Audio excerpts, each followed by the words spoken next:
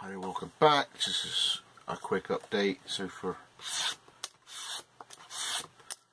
big Cabernet Filet Coup, it's away tomorrow. It's in 52 100. It's the thick version, 4.7 mil black liner.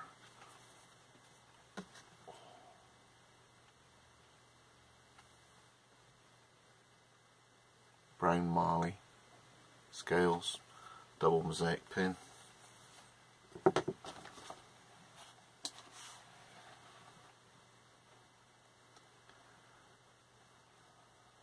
Norse motif, so I got one of the ravens hugging or mugging one another, an Odin spear with an Odin sign on it. Wessex blades, double row, lock stitch, just rear this explains belt loop stitching, dangler, natural wax finish.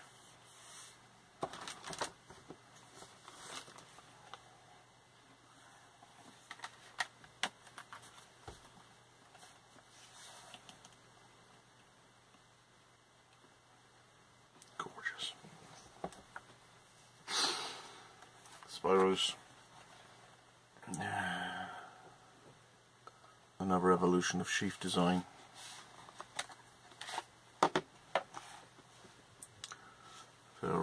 Swoops on both ends.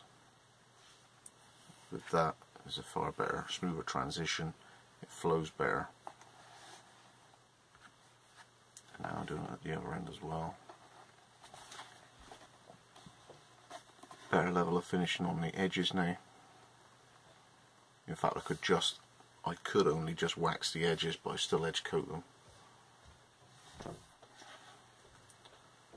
Row lock stitch. That's the back. Dangler. Wax finish. There's his ferro rod.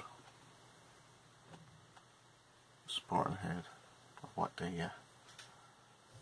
Sweet little bead on there as well. He wanted that slung underneath. That's him there and uh, DaneLore.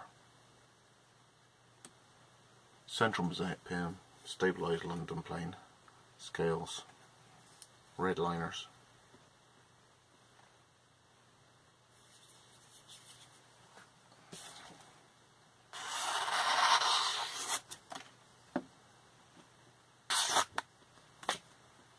And a um,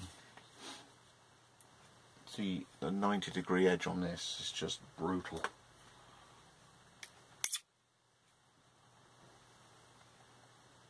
So that's ready for him, natural wax finish, and they should be packed. I'll make, make a start tonight. Um, long time. Sorry for the wait, guys, but um, thanks for your patience. Uh, it's just how long they take. Um, you know, my books are still closed, 12 month waiting list. I can't go any faster. Uh, so really appreciate your patience. Thanks for letting me do this at my pace. Um, I'm still barely on one a week. Um, I'll get there somehow, somehow doing three a week and four a week like everybody will able to do, but at the moment not yet. Um, I've got four ferro rods in London plane, just Danish oiling while I was in the, in the swing of the lathe. So they'll be available tomorrow.